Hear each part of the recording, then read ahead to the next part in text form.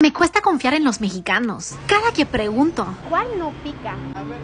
La verde pica menos. Ok. siempre que confío termino en la misma situación.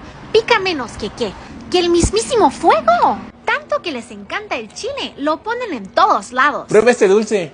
¿Es dulce dulce o pica? No pica nada, es dulce para niños.